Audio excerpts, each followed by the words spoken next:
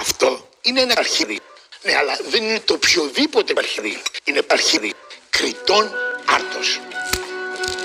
Αρχίδια κριτών άρτος. Τραγανά, αφράτα, κατουρημένα με παρθένο ελαιόλαδο. Τόσο νόστιμα που τρώγονται και μόνα τους.